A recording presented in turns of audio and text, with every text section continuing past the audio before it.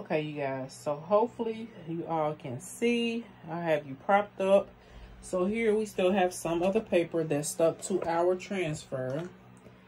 Again, like I stated, I wet a cloth. It's kind of damp. As you can see, I'm just rubbing this. And this whole thing was covered right here with the paper that did not come off the back of the transfer. Like I said, I rarely had this happen, but I have seen people post um, in some of these Facebook groups where they receive um, the screen trans uh, order the screen print transfers from.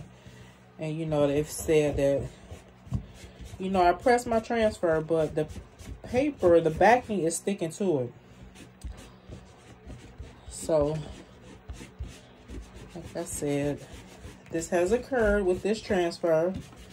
Sometimes it happens, sometimes it don't. It's